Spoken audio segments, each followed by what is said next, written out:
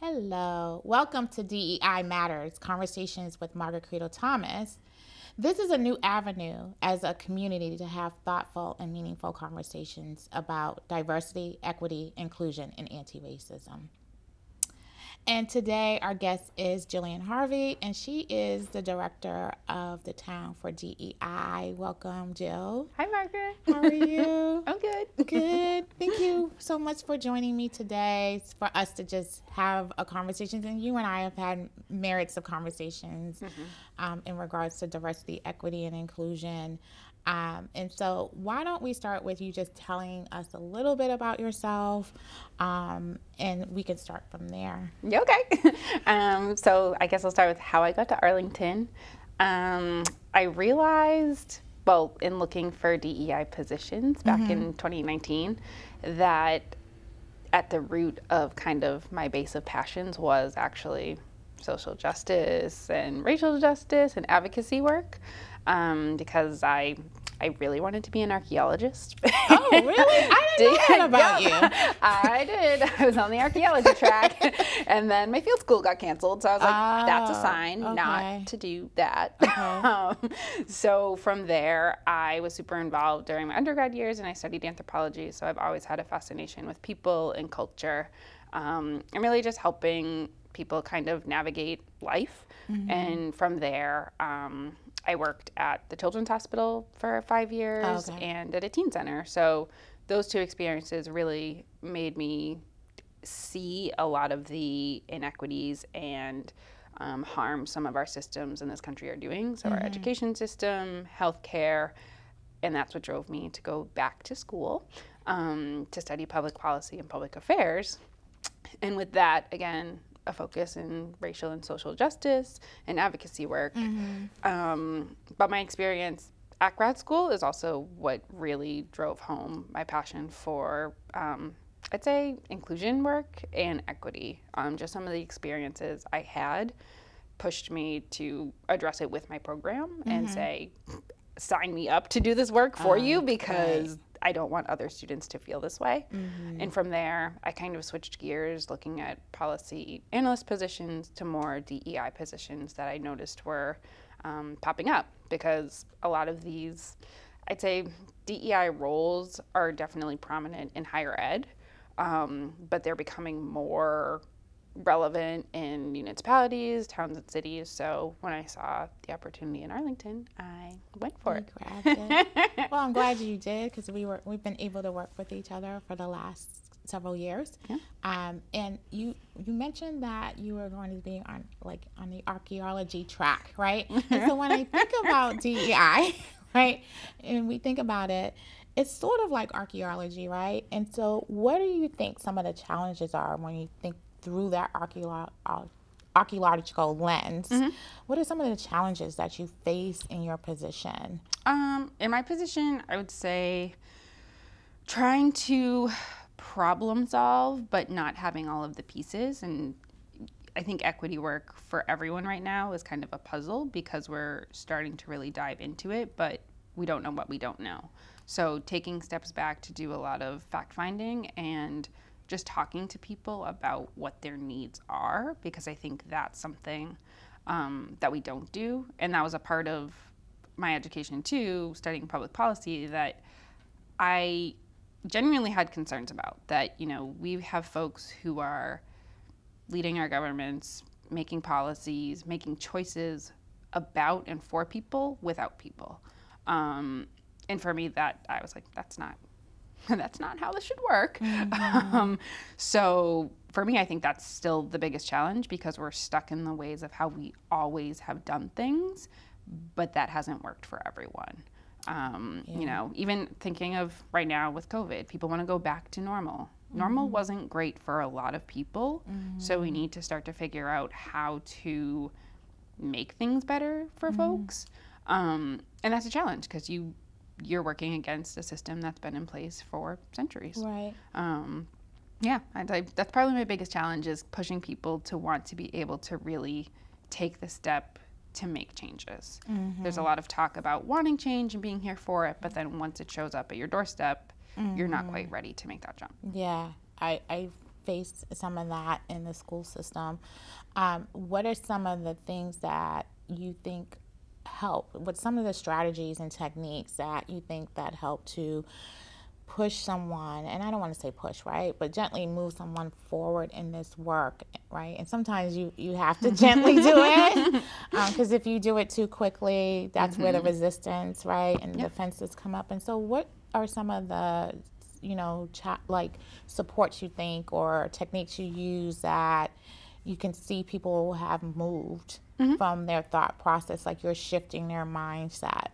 Um, I would say kind of instilling the sense of the need for self reflection.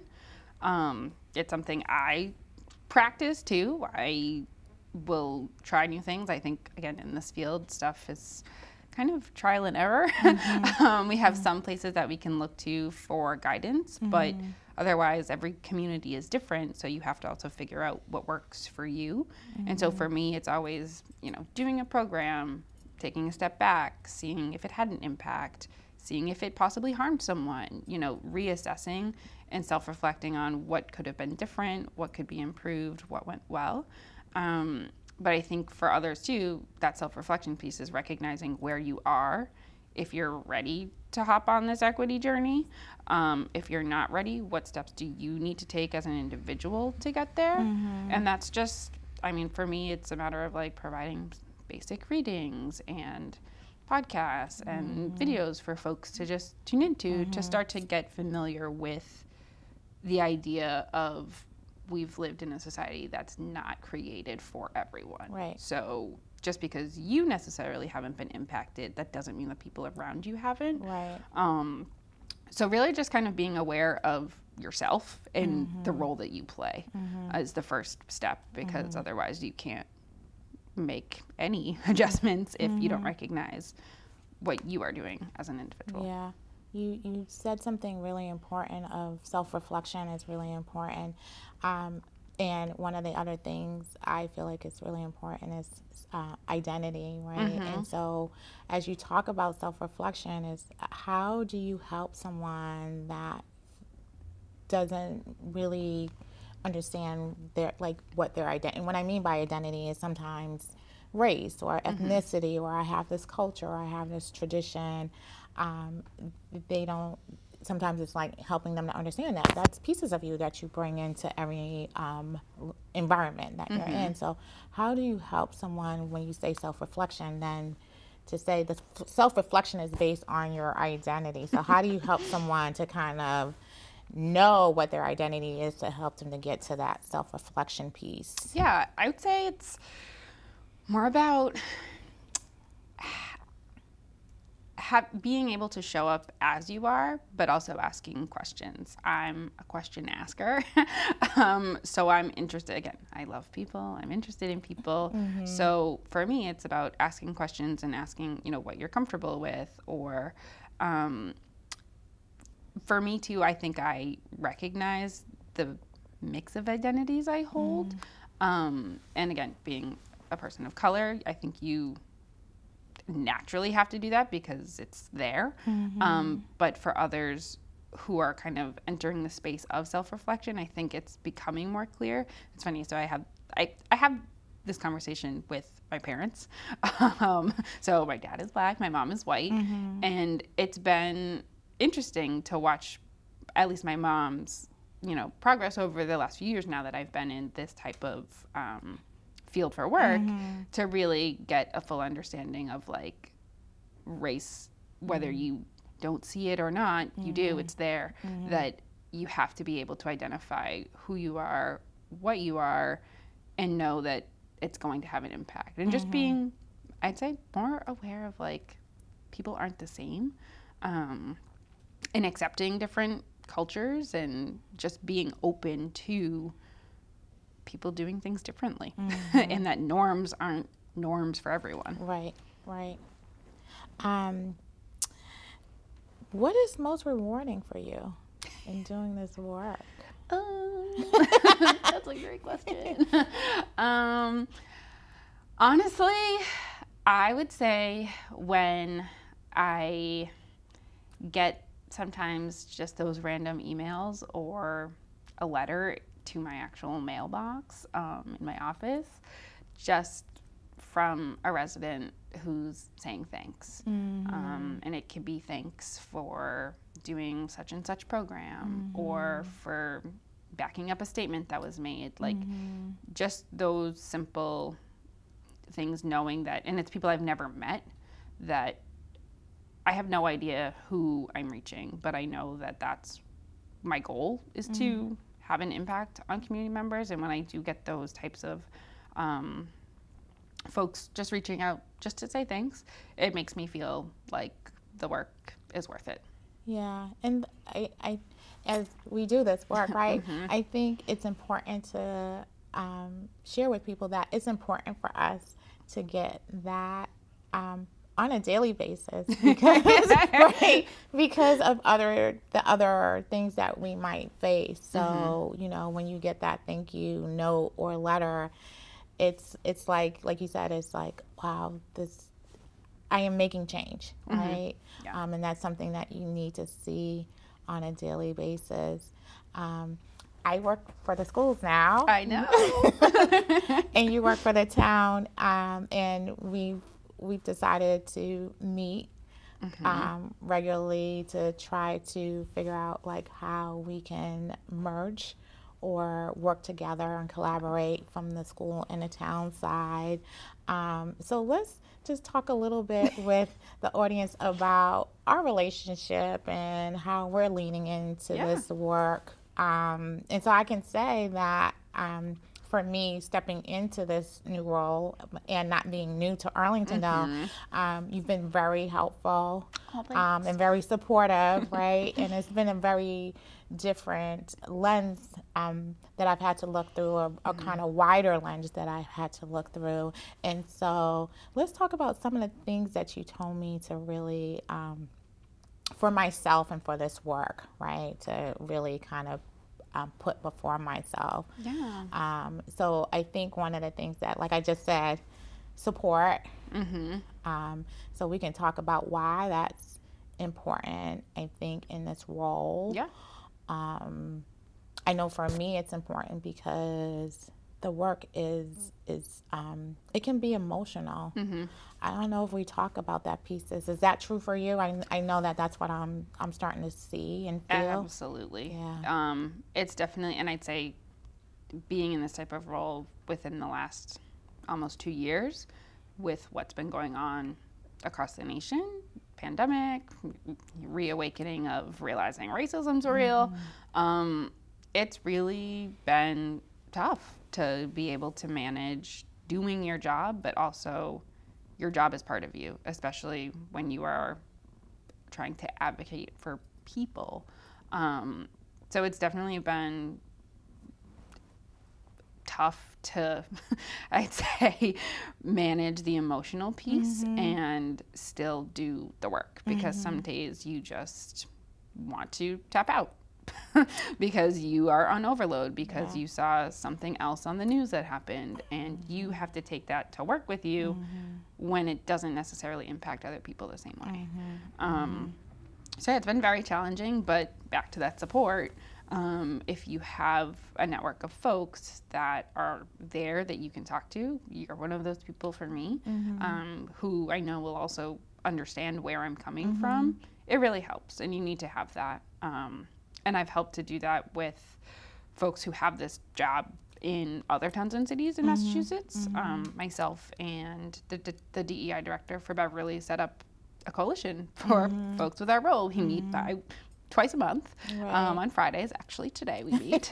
um, but you that look forward to those been, meetings. I do. I love it. Fridays at twelve. Yeah. yeah. Um, but it's really great just to know that you're not alone because this type of work, a lot of these positions are singular roles. Mm-hmm. It's a one-person department. Mm-hmm. It's a one-person. Mm-hmm. You do it all, um, and you do feel alone, mm-hmm. even though your job consists of working with groups of people. Mm-hmm. Um, but it can be isolating and so having those other folks who you know are dealing with the same exact things similar issues challenges and rewards is great to have. Yeah. Um, I just became a part of the school uh, one. yeah, the DEI um, directors have a group also, and they formed it last year, mm-hmm. and so that is growing. Um, and that, like you, it was just really good to be in a space with people who do um, job alikes. Mm-hmm. Um, and that experience, they understood the experiences that I was just sharing or we were sharing with each other. Mm-hmm. And it's also a place, um, I think we should say, um, not, on, not only for support and for resources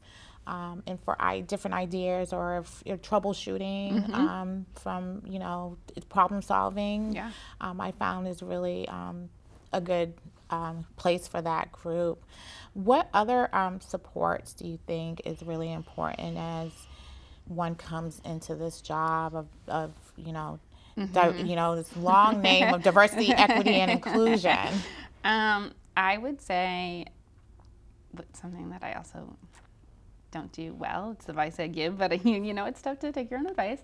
Um, is really just taking care of yourself, knowing when you've hit your boundaries, putting boundaries in place, um, and being able to say, nope, I need today to just reset my mind and take care of your mental health because it is, it's a taxing role, um, especially if you are someone who is from a historically underrepresented group, like mm-hmm. you, you, just feel it a bit more. Mm-hmm. So making sure that you take care of yourself mm-hmm. first, because the work will always be there. It's right. good. It's a lifelong journey. Yeah. Um, so I think the expectations of, oh, this role will come in and fix everything. That's not realistic. It's a commitment that you need. If it's a town, it's a city, a school district, whatever you're making this commitment for life because yeah. it's it's not a quick fix. no, it's it, you're you're you're like really um, when going into an avenue where like you had mentioned a lot of these roles are coming up mm-hmm. and I think some some people have the mindset oh we do have a DEI director now and so now we've solved a problem when actuality we just we've just begun right, right. we've just begun the work and yeah. how do we really like I, have um, I've been saying like how do we expand the role into a department mm-hmm. and um, what is it when we what does it really mean when we say diversity equity and inclusion and I always use I always add anti-racism mm-hmm. um, um, it's also uh, I think a question I've been asking myself as yeah. I've, I've kind of come into this role. Um, so it's all of that meshed together and you're right it's really someone said to me yesterday it's really important margaret that you do self-care mm-hmm. and they said to me i just don't want to say that to you so let's talk about certain things that you're going to do mm-hmm. which was mm-hmm. really important um, because um, the person said it's a buzzword now yeah self-care has become a buzzword and we're not really saying well jill what are some of the things you do to um, because I, I, you know, yeah. I, think I can say this. Like you like rollerblading, because oh, I, I, know that, it. right? Um, Been so hitting the streets. um, right, and I like boxing, mm-hmm. and so mm-hmm. there are things that we do know. Um, that I can say, well, Jill, have you been rollerblading yep. lately? So when you're like, I'm ready to scream, um, let me put on my helmet. Right, right. yeah. What is what are the um what's another thing um that a person that comes into this role might um before you know before coming in might not understand oh i might i might meet with this mm-hmm. um, um, i would say just resistance to the work period um, i think you think because the role is created that everyone's on board, but I think I said earlier, once it's time to actually, you know, put change in motion, um, that's where you see folks not really being ready or not thinking there is a problem or that the problem isn't that bad. Um, and so being able to navigate those spaces and figuring out how to not take it personally. Um, I think because most of the folks in this role are passionate. I know for myself I am. So that's something I too constantly have to remind myself about mm-hmm. that don't take it personally. It's mm-hmm. not about you, it's mm-hmm. about this massive shift that mm-hmm. needs to take place, and mm-hmm. folks aren't ready. Mm-hmm. Um, but I think another thing is being able to know that know your know your worth and value that you were hired for a reason you have expertise you have an idea of where you want to take things so don't let little pockets of resistance stop you mm-hmm. i think and i don't know if you have run into this. I also think that when a person comes into this role, other people have perceptions mm-hmm. of what you should be mm-hmm. doing or what the responsibilities of this person is. Um, can you share with me, like, when you came into this role, did you feel as though there was some, like, um, some people thought, well, no, Jill, I think you should be doing this, mm-hmm. or and how did those conversations go? Right? Because yeah. I feel like I'm meeting with those kind of conversations. You definitely are. um, so for me, I think it was a little different because of when I started. So I started with the town basically January 2020. What year is it now? 2021? Yeah. yeah. so 2020, I have no concept of time. Um, but my kind of responsibilities were laid out, like working mm. with the commissions that I oversee and support, mm-hmm. um, doing ADA coordinating, um, mm-hmm. um, and then starting to do some of the racial equity work mm-hmm. internally. And then with the pandemic, it just kind of, I don't want to say derailed, but mm-hmm. made other areas very high priority. So I wasn't expecting to be as responsive to community member needs mm-hmm. as I became. So, like, you know, whipping up the community conversation series. That I don't know what I was thinking, trying to do like one every couple weeks.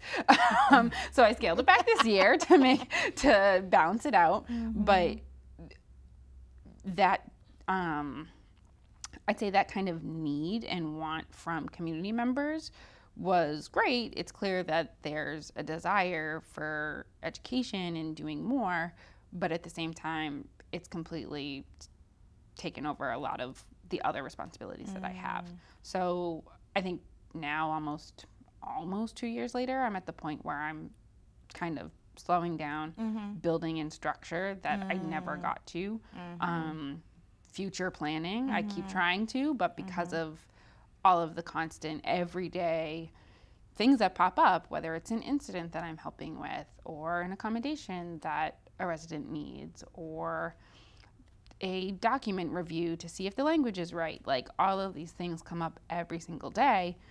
And then you don't have the time to do the larger scale planning and thinking. And so I'm at the point now where I'm like, okay, we're going to pause. Mm. Sorry, I mm-hmm. will get mm-hmm. to you, but mm-hmm. there needs to be some structures put in place. Mm-hmm. Um, and it'll it'll be more efficient in the long run. I think you just said a, a, really important word. We're going to pause. Mm-hmm. Um, I think it's okay for us to pause, um, to assess, mm-hmm. Um, to then after assessment to determine what implementation and what are we going to implement, yep. and then how do we reassess what mm-hmm. we've implemented and I think I'm I'm I'm starting to say that word a lot more. Like, no, we can pause, right? Slow down, pump the brakes. Right, right. We can go slow to go fast. Mm-hmm. Um, it's something I'm starting to say a little bit more, yeah. especially when we're entering into this work, and we have to remember that some um, some marginalized people have been hurt, mm-hmm. right, by experiences. And so, yep. as we delve into this work and we are really wanting to do the diversity and the the and the equity and the inclusion and the anti-racism, we want to make sure that we're doing it in a thoughtful and meaningful way. Like you said, we're putting in structures that mm-hmm. um, we have to de- dismantle structures first, right? right? Before we can put structures in. Yeah. Um, so that as we're doing this work that we're doing, I, I feel like um, a great word I want to say is healing. Mm-hmm. We're doing, we're starting to do the healing spaces and healing um, structures is what comes to my mind when I've been doing this work. Um, as I, have merged into this work, so just like you said, there's a lot that um, that we have to just look at. Mm-hmm. We have to mm-hmm. really be courageous, right, to start having these conversations. So that's another place where it starts. Yeah. Um, what do you think some of the um, what do you think some of the future like goals or aspirations or hope things you look down the line for in this work for the town and as we work together mm-hmm. maybe we can talk about what we hope for together i know we're still kind of really talking about that and yeah. um, and we're i think we're going slow mm-hmm. so that we can really understand how yeah. we collaborate together. So, what are some of the hopes and aspirations? Yeah. Um, I mean, I think my end, my like overall goal would be that I don't need to be called for questions or to solve problems because everyone in every town department will have the tools and the knowledge to be able to address the equity issues that are presented. Um, so that, so I guess like working towards that would be um, not just training, but culture shift.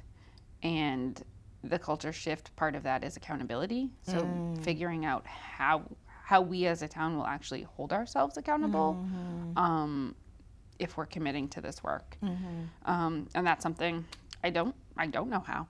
Right. um, so that's a goal is to figure that out and mm-hmm. start to put things in place. Mm-hmm. Um, but yeah, I think for me it would be you know having a division that can be built up and be a resource mm-hmm. and support for the town. Mm-hmm. Um, but that it's not the problem solving division, that it's mm. providing tools and resources to all other departments and folks um, to be able to do the work themselves so that we're baking an equity lens into everything that we're doing.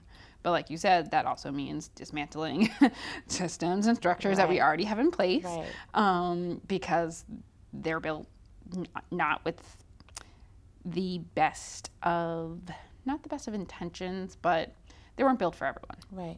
So, you know, taking steps back, looking at the policies, the procedures, what we have going on now and taking the time to kind of redo things the right way. Jill, thank you. Thank you so much for joining me today um, for um, DEI Matters conversations with Margaret Credle Thomas. Yeah. I always love talking to you. I think um, we can even talk more about how we can, you know, maybe have more of these conversations and maybe bring a couple more people in yeah. to our space um, as we, we delve into this work. Awesome. So thank you for joining us. I'm Margaret Credle Thomas, and we will see you soon.